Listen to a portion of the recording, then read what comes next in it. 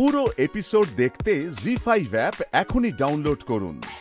যে করেই হোক, আমার তারাকে খুঁজে পেতেই হবে। হাতে বেশি সময় নেই। মাগো মাগো তুমি আমার মেয়েকে খুঁজে দাও বা খুঁজে দাও তুমি। পথ দেখাও পথ দেখাও।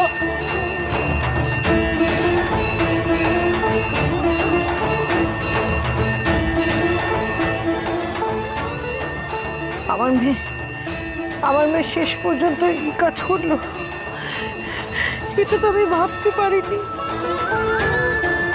আমি ভেবেছিলাম আমার মেয়ে বোধহয় ভালো হয়ে গেছে। ওর বাবার ছায়া থেকে বেরিয়ে এসেছে।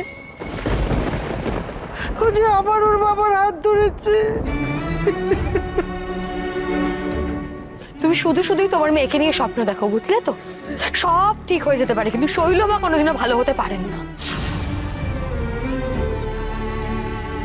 কয়লা, ধুলে যেমন কোনোদিন কালি যায় না, তেমন শৈলমার পক্ষেও না, কোনো দিনও ভালো হওয়া সম্ভব না। এটা কেন তুমি ভুলে যাও বলো তো? মা, আজ তোমাকে জবাব দিতেই হবে।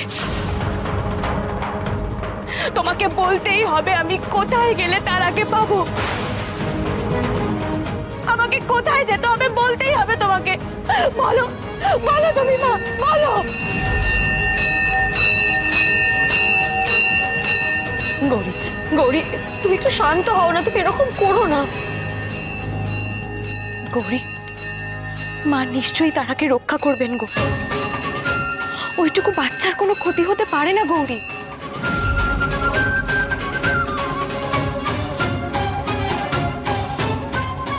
শোনো মা, তুমি যদি আমাকে কোনো পথ না দেখাও, তাহলে আমি নিজে আমার মেয়েকে খুঁজতে বেরোবো।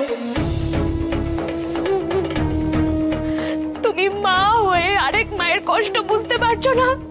তুমি চুপ করে আছো। আমি আমি নিজেই তারাকে ফিরিয়ে আনব। নিজেই।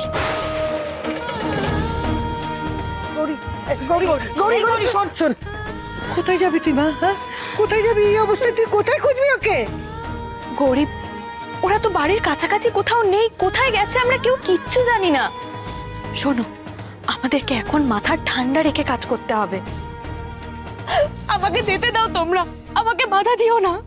আমি রাস্তায় বেরোলে আমার মেয়েকে খুঁজে পাবো। একজন মায়ের ইচ্ছে শক্তি আমার মেয়েকে খুঁজে বার করবে। আমাকে যেতে দাও।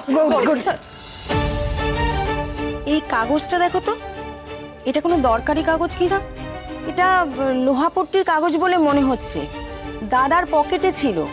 জামা কাপড় ভেজাতে গিয়ে পেলাম। লোহা? লোহা নিয়েই তো যত কাণ্ড হচ্ছে। তাহলে কি লোহাকে সোনা করার জন্যই লোহা পট্টি ঠিক আছে তুমি এখন যাও। দেখি দেখি।